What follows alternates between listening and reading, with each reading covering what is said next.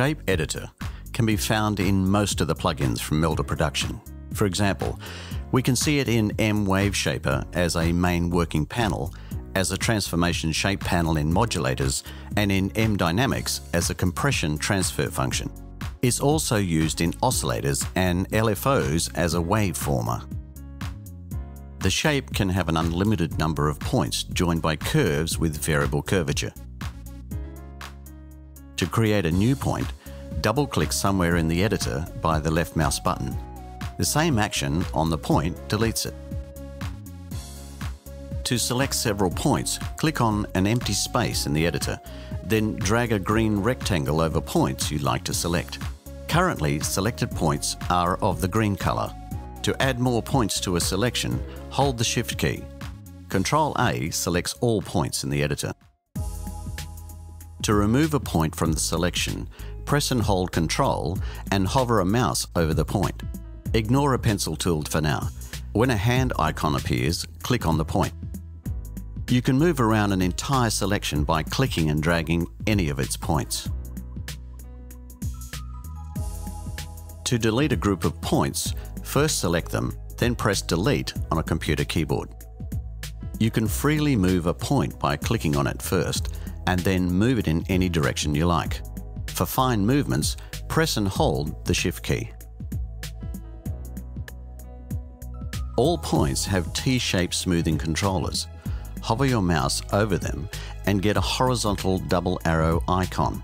When it appears, click and drag a needed controller to smooth a transition on its side. Or hover the mouse over the point to get a hand icon. Now, use a mouse wheel to smooth a curve. In this case, both controllers are being set simultaneously. This method also works with a group of points. First, make a selection. Next, hover the mouse over any point until you see a hand icon. Now, use the mouse wheel to smooth out the entire selection. To reset a smoothing controller, double-click on it. A small circle in the middle of a segment sets the segment's curvature. Click and drag the circle to change the curvature.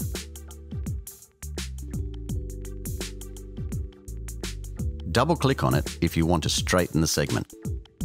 If you hover the mouse over a segment, you'll see a vertical double arrow icon.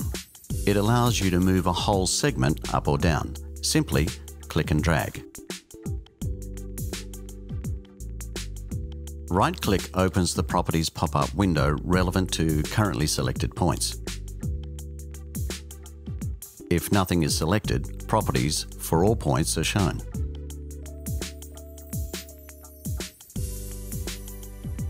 Drawing mode allows you to draw any shape you like. After that, all smoothing controllers are hidden.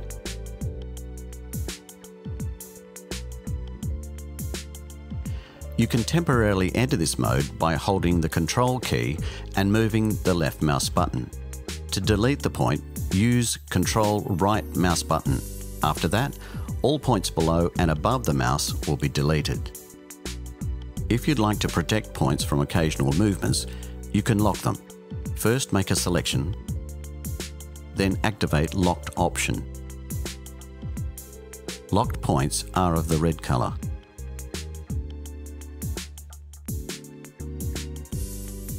To unlock the points, select them again and turn off the option.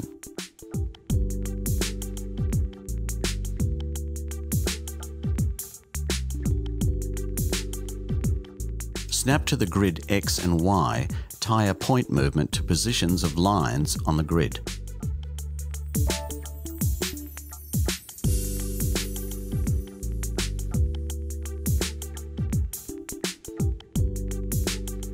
The icons with the magnet on the right allows you to select a size of the grid.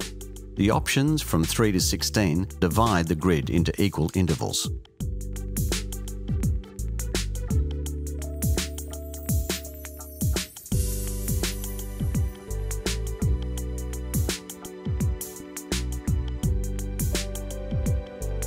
When off, a default grid is used. Insert Points adds a point at a place you just right-clicked. step sequencer can help with a quick design of a step-like curve. It can have up to 32 steps.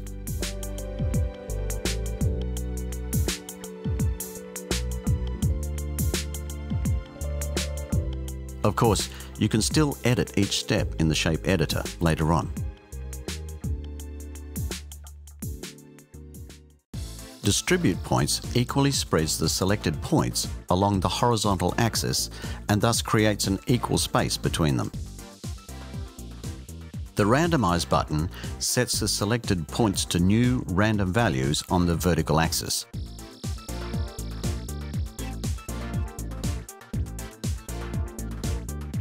Mirror X and Y swaps the selected points on horizontal and vertical axis accordingly.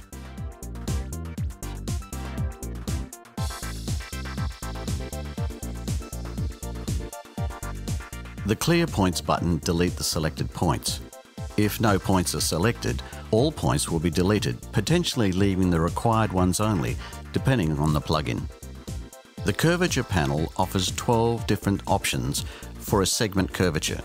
To change the curvature, right-click on a small circle icon in the middle of the segment and in a pop-up window, select the curvature type you like.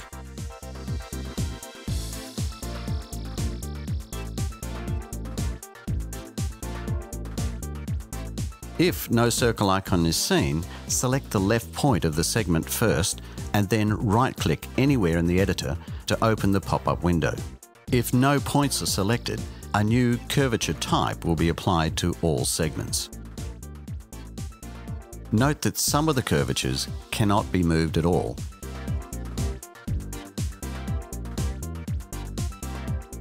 Others can be moved both vertically and horizontally.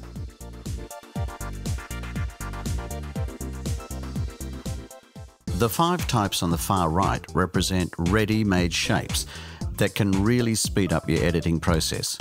In these cases, curvature icon sets either number of steps for stairs or periods for pulses, saw, triangles and sines. When the integral curvature buttons is lit, the number of steps or periods is always an integer 1, 2, 3, 4, etc. That helps to avoid a discontinuity at the end of a segment. However, if that's what you want, then turn it off. Now you can assign any intermediate value.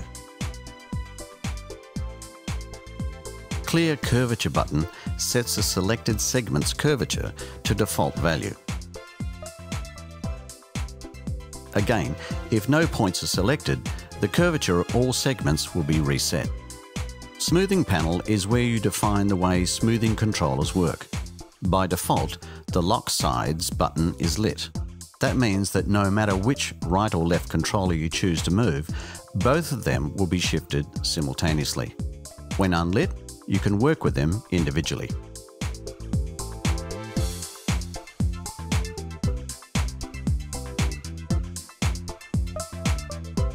Frequently, both sides around a point must be smoothed out equally.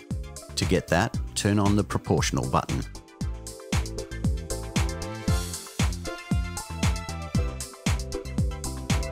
However, a smaller side puts a limitation on it.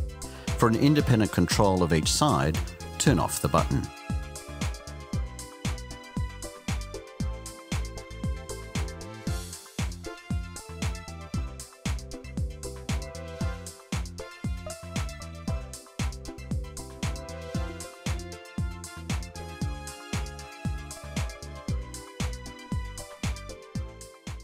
Faster smoothing enables another CPU saving algorithm. However, it can introduce some unwanted artifacts.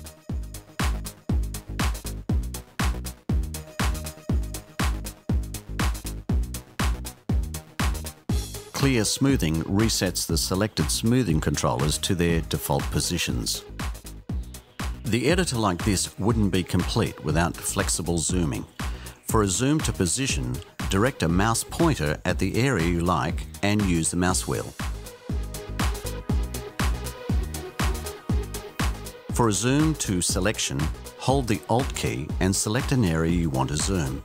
For independent horizontal and vertical zooming, use the magnifying glass icons located at the bottom right corner. The icon with the plus sign zooms in. The one with the minus sign zooms out. Use the scroll bars below and on the right to move around the area. For a full zoom out, click on the icons with the small rectangle inside. Happy shape editing.